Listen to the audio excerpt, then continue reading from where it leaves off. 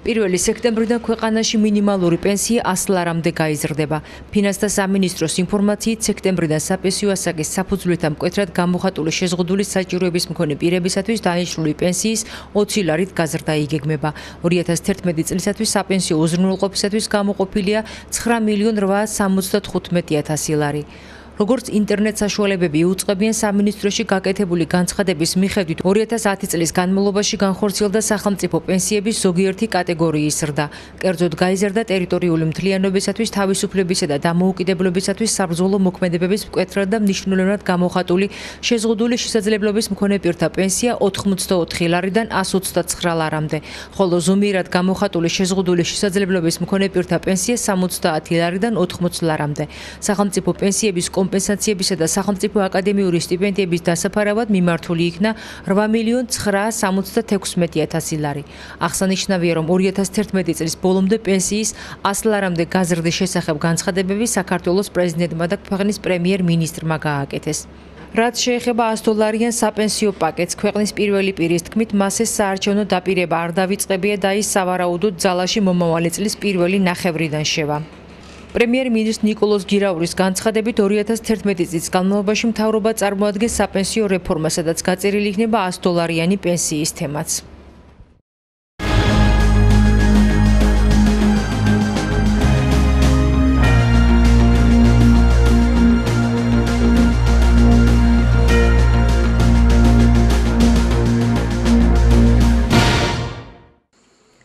სამონადირეო სეზონის გენერალური რეპეტიცია შეჯიბრის სასტენდო სროლაში აზარტულ და რისკიან მონადირეთა შორის.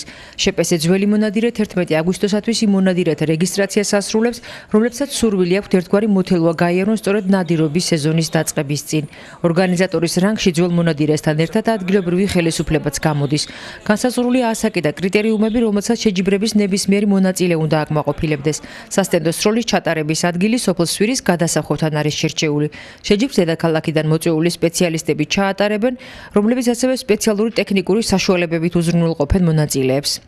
საჭირო იქნება მოიტანოს მონაწილემ პირადობის ქსეროასლი და მოიტანოს გაფორმებული თოფის გლულიანი სანადირო თოფის ქსეროასლი. მაგრამ აუცილებელი ასევე რომ 11 რიცხვამდე 11 რიცხვის საღამომდე მოხდეს რეგისტრაცია ეს ნამდვილად აუცილებლად, რომ ვიცოდეთ ინფორმაცია, რამდენი რაოდენობრივად რამდენი იქნება ეს მონაწილე და პირობები ასეთია, რომ მოხდება 25 გასროლა. ამ შემთხვევაში აირჩევა საუკეთესოები და ისინი კიდე 15 გასროლას გააკეთებენ და ამათ შორის, ასე ვთქვათ, პრიზიორები აიღებენ სოლიდურ პრიზებს, რომელიც ნამდვილად დააწესა ჩვენმა ადგილობრივ მმართველობამ და ქალაქის მუნიციპალიტეტმა. რაც შეეხება მონადირის სეზონის გახსნას, ის სავარაუდო ტრადიციულ დროს 20 აგვისტოს დაიწყება. ადგილობრივი კადრისთვის ერთ-ერთ საინტერესო და აზარტულ სეგმენტად აჯამეთის ტყერჩება. ჩვენთვის საუკეთესო სამონადირო ადგილები იყო. ну, ეხლაც რჩება, ესე ვთქვათ, აჯამეთის ტერიტორია. საუკეთესო ბუნება გვაქვს, საუკეთესო ტყეა, ცოტა შესაძლებელია მოულელია, მაგრამ რაღაც რაღაცეები კეთდება მაგის მხრივ, რომ ეს რაც გვაქვს ბუნება ჩვენ შევინარჩუნოთ და ნამდვილად კიდე უკეთესი გავხადოთ რა როგორიც არის. შეჯიბრის სასტენდო სროლაში 15 აგვისტოსთვისაა დაგეგმილი. ორგანიზატორები რწმუნებიან, რომ დაცული იქნება უსაფრთხოების ყველა ზომა. ამ ტიპის ასპარეზობა ზესტაფონში პირველად ტარდება და ის ფასიანია.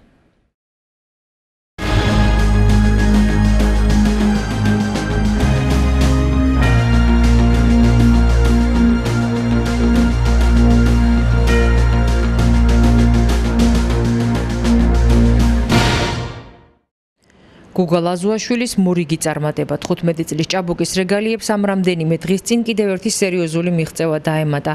ივლისის თვის ბოლოს თურქეთის ქალაქ ტრაბზონში გამართულ ევროპის ოლიმპიურ ფესტივალში საქართველოს ნაკრების შემადგენლობაში გამოდიოდა. გუგა ლაზუაშვილთან მისი მწვრთნელები თემურ კამლაძე და ზაზა მახათაძე ახლდნენ. მათთან ერთად ტრაბზონში სპორტ სკოლის დირექტორი დავით ხუსკივაძე და გამგეობის შესაბამისი სამსახურის სპეციალისტი მამუკა კიკნაველიძე ჩავიდნენ. მათი გამგზავრება გამგეობამ დააფინანსა. თურქეთის რესპუბლიკის ქალაქ ტრაბზონში ჩატარდა ევროპის ოლიმპიური ფესტივალი ჭიდაობა ძიუდოში. სადაც მონაწილეობას ღებულობდა მძიმე ზონაში ჩვენი რაიონის კვიდრი საქართველოს ნაკრების წევრი ევროპის მეორე პრიზიორი, საქართველოს ჩემპიონი, ევროპის თასის მფლობელი გიორგი ლაზუაშვილი. აღნიშნული შეჯიბრება იყო ძალიან მნიშვნელოვანი. თავი მოიყარა უძლიერესმა სპორტსმენებმა ევროპის სხვადასხვა ქვეყნებიდან და ჩვენ ვარაუდობდით, რომ გუგას ასევე უნდა ეჭდავა ფინალი, მაგრამ საჯების გადაწყვეტილებით უკრაინელ სპორტსმენთან მას ასე რომ ვთქვათ, გაფრთხილებით წააგებინეს. ეს იყო მეორე შეხვედრა, მანამდე გუგას მქონდა მოგებული ერთი შეხვედრა, ამის შემდგომ მან მოიგო სამი შეხვედრა და დამაჯერებლად დაიკავა მესამე საპრიზო ადგილი. მიუხედავად იმისა, რომ ჩვენ ყოფილები არ ვართ, მაინც ეს დიდი წარმატება არის, ვინაიდან ჭირაობა ძიუდოში ჩვენ ასეთი შედეგები არ გქონია. 9 აგვისტოს გუგა ლაზუაშვილი მორი გასპარეზობაში მონაწილეობის მიღების მიზნით უკრაინაში საქართველოს ნაკრებთან ერთად გაემგზავრა, სადაც იმართება მსოფლიო პირველობა ჭიდაობა ძიუდოში. გუგა როგორც მძიმე წონოსანი 14 აგვისტოს იჭიდავებს, მასთან თავის მწვრთნელი თემურ კამლაძეც ახლავს.